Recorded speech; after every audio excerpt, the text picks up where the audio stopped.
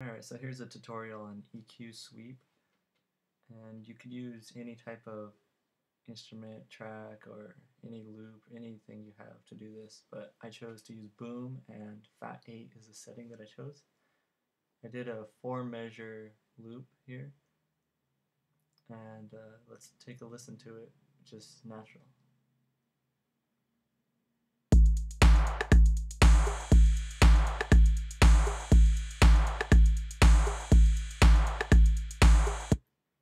So there it is with it, no processing done. So let's add an EQ. I just go to the standard Pro Tools EQ, just one band. Alright, first thing we need to do is change the type. We're going to go over to a low pass filter. And then I'll sweep it down to about 100 just to have only the low frequencies coming through. So let's give a listen and see what it sounds like by doing it by hand.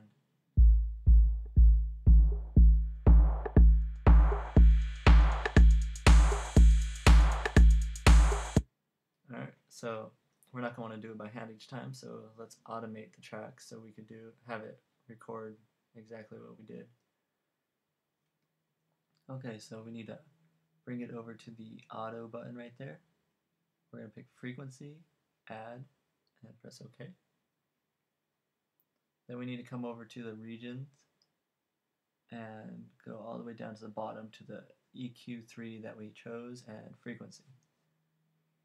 Alright, so now we need to automate the frequency. We're going to go over to the read and change it to latch so it reads what we're going to be doing. This little red button is on now, so let's sweep it back over to 100 and let's record our automation.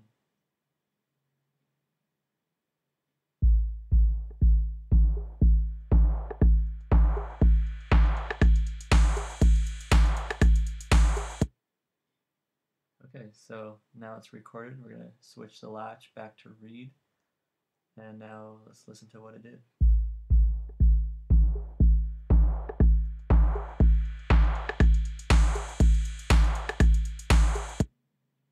Okay, so there's another thing you could do. You grab the pencil tool and just draw in the line.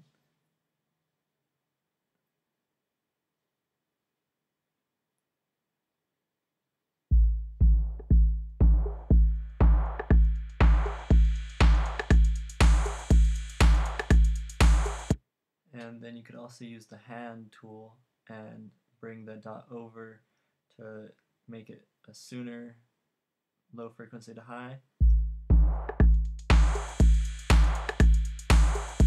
Or you could just bring it back over to wherever you want.